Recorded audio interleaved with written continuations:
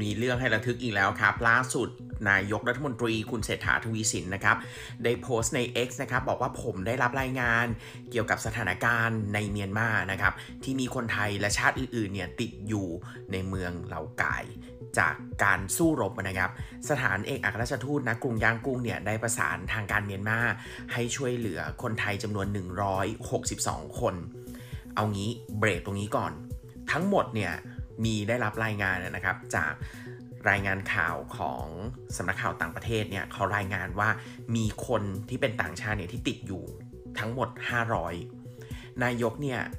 โพสต์ใน X บอกว่ามีคนไทย 162 คนจาก 500 เนี่ยติดอยู่ด้วยนะครับ อะ นายกก็พิมพ์ต่อว่า และจัดให้พักในพื้นที่ปลอดภัยแล้ว เพราะฉะนั้นเนี่ย 162 คนปลอดภัยแล้วนะครับ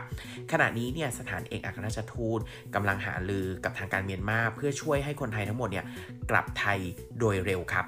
ซึ่งณขณะนี้เนี่ยก็อย่างที่บอกครับพอสู้รบเนาะมันก็จะมีการกักตัวกักอะไรคนเพื่อแบบ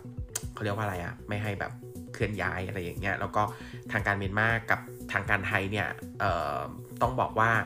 สถานการณ์ความสัมพันธ์ทางการทูตเนี่ยโอเคไม่ได้มีอะไรกัน เพราะฉะนั้นเนี่ยก็คนไทยนะครับ 162 คนก็ปลอดภัยดีนะครับ จากทั้งหมดเนี่ย 500 นะ มีคนไทยอยู่ 162